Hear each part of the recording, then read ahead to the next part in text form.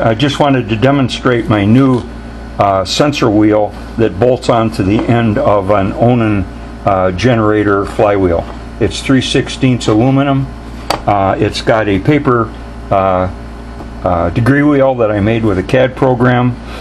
The four holes are indexed to be 90 or 45 degrees away from the uh, quarter turn marks and under each one of the quarter turn marks is a magnet and uh, the north side of the zero degrees magnet is up so the south end of, a, of the compass points at it. And the other three it's all the other way around for the 90 the 180 and the 270 so the south magnets or the south sides of those magnets are up. Anyway just wanted to show you what that wheel looks like and although the this little circle here doesn't look like it's quite centered it is because I cut that out. But anyway so there it is. And uh, in the next scene you'll see me I've got it hooked up and I've got a prototype of my new uh, uh, Hall effect sensor system using north and south magnets. And I'm running it and with a strobe light just to show that indeed it does work and sync up on the Onan and the next step will be to add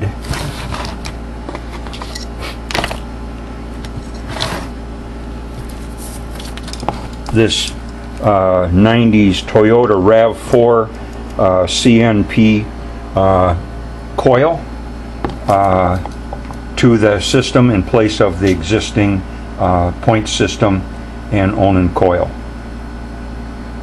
So this took some adaptation because this uses tiny little spark plug wires and uh, I didn't couldn't come up with a handy way to convert from uh, uh, small uh, from the small spark plug wires to big ones and so that I could make up just the right length of cable. Anyway, so that's the next move.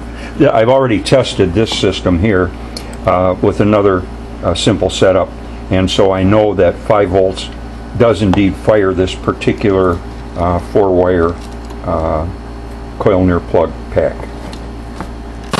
Okay this, okay, this is just a test of my new ignition controller that is soon going on my Onan generator. This Onan generator is my main wood gas test generator and I want to be able to advance spark by at least 40 to 50 degrees or so since I hear that wood gas burns slower than gasoline. So here's what is going on. It's a test of my newest uh, sensor block with north and south magnets.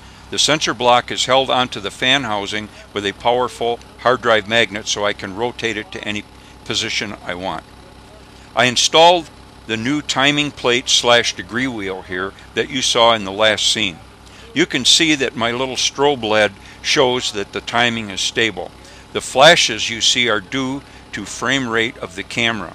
Since the generator is running at just a, little over 1800 RPMs, the flashes on this video cycle that way as the camera at about 30 frames per second goes in and out of sync. But take my word for it, the strobe pulses are continuous. It's hard to get a good view of the strobe's accuracy. It's my fault that you can only catch a glimpse or two of the degree wheel numbers, but you can see that one of the attachment bolts is standing quite still when the strobe fires.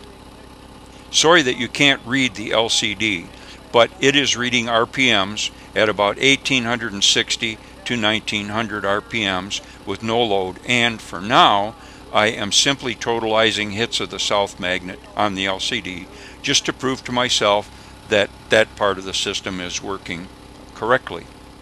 And on the uh, Arduino Uno board you can also see a red LED flashing and that's just another debug debugging feature that fires every time OCR1A matches, uh, reaches compare match. So I've got a lot of work to do on the system yet, uh, but uh, it should be uh, kind of fun work. It's updating the software with the actual software that I want to run. And I'm going to do some work so that when I try like this to read the LCD, that I can actually get it to show up more easily on the screen and I, I, I really apologize uh, for, for that uh, problem.